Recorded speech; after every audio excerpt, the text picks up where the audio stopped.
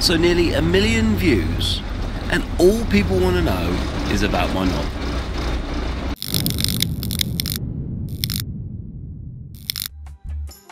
So, all you viewers out there that may have seen me on the VimWiki videos have been asking for an explanation in relation to a certain shift knob or gear knob that we call them in the UK. Well, I met a guy around five years ago at a show called SEMA. And this guy owned an amazing company called Speed Dawg, spelled D A W G, shift knobs.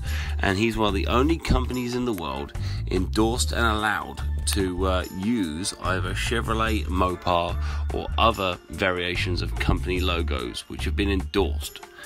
I came up with this crazy idea in relation to a certain shift knob. I wanted to do something completely different that hadn't been done before, yet had my own twist.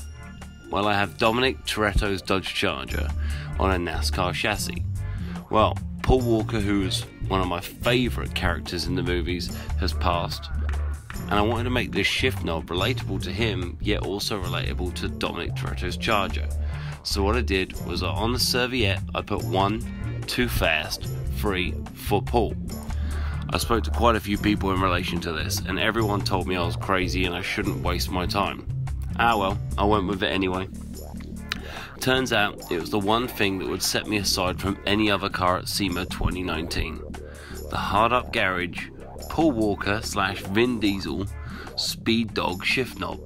Oh, and just to top it off, the legend at Speed Dawg himself got it endorsed by Mopar. Yep, it's got Charger written on the side, and it's a one in the world. Can't really beat that, can you? Nope. That's hard up garage, always pushing the void.